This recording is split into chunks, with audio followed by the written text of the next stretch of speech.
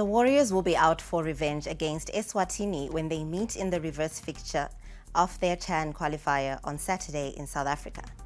The Warriors were beaten 3-0 in the first leg and have continued their training camp in Botswana before traveling to South Africa on Thursday.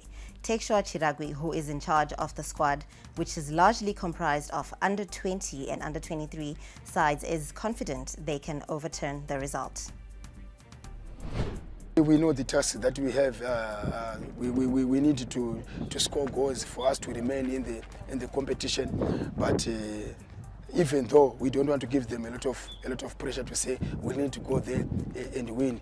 Uh, we, we, we need to make sure uh, what was the objective uh, for the tournament. As much as we want to play and win, we also understand it's their first time and they are still young to play at that level. Playing with a team that has been together for a long time, seasoned players, and also the the, the, the, the, current national team for, for, for, for Swaziland that is participating in the World Cup and the Nations Cup.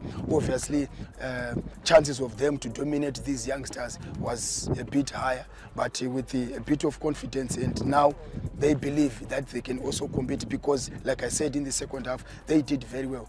So with that confidence, I think we still believe that we can go there and surprise them. We look at the uh, chances that we, we, created. We created so many chances, but uh, the last touch to get the ball behind the net was only our our our our, our, our concern, and um, we, we, we are trying to work on that so that when we create those chances, we just have to bury them. And uh, I'm, I'm, I'm, we, are, we are believing that we are going to get those goals. What we just need is to keep on motivating them, give them courage and a lot of uh, confidence in them because they are showing a lot of potential in them. And I think having another game again, it will give, it will boost their, their confidence to make sure they can perform better.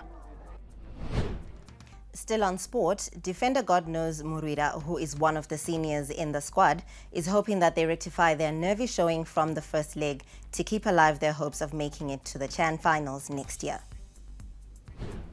We played better than the result. So we are going to try and rectify the, the, the mistakes we made on conceding the, the, the goals that we conceded. And uh, look for looking forward for to, to, to score goals as we want to proceed to the next uh, next stage of the Chan qualifiers. There was the the nerves, you know, in the first game. You know, some of the guys was they knew the, the first collapse the national team and the, the tempo, of course, it was different. Now going on forward to the next game, everyone is ready to go. Everyone is ready. I think now the nerves has gone. Now they want to show what they are made of. Yeah, obviously we lost training. We are trailing and uh, on the next encounter we will try and score as quick as possible so that we can stabilize the game going on forward to score more goals, more more than they scored here in Botswana. They should just uh, rally behind the youngsters, you know. They are still to grow, they are still to they are still new to the system, so they should just support the young boys, you know, and uh, give them as much as as much support as they need for them to to to, to to, to, come tops come weekend. Because you know it's, it's, it's, it's their first time. So if they boo them you know they will go into the show. So they just they just need to be with them.